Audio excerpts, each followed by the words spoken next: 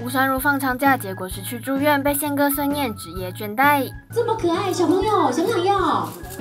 哎，呃，他们有点寂寞，姐姐是会播版面，对，那你把里面脱掉。不行啊，这儿福联盟。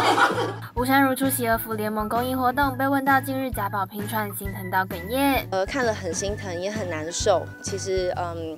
呃，我可能一个新闻知道一次，我就没有办法再继续看下去，因为有的时候，呃，媒体给了更多的嗯细节，其实呃看了会很很食不下咽，其实对，所以我希望大家也能够尽量的去让这个社会回归到呃家庭的本质，然后让家里面是有温暖的，嗯，这样子这些孩子们也比较不会遇到嗯这些。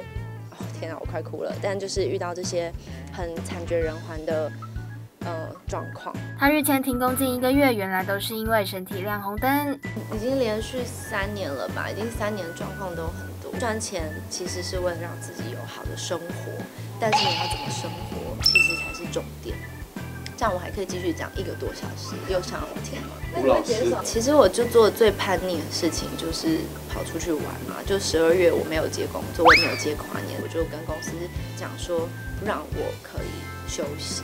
那他们也真的是看到我一直在看医生，一直在看医生，所以后来才就是呃，对，就是放我假快一个月。然后你们都没有发现，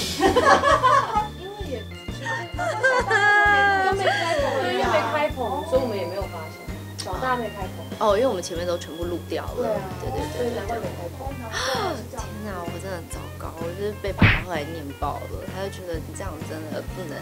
他说你是不是工作怠惰？我说我不是工作怠惰。他说你是不是职业倦怠？我说我不是，我是我身体负荷不了。回来马上就进医院复诊啊，检查什么。他们就哎，你数字好很多。那新的一年我要计划再开店？Oh no no no no no！我要开心。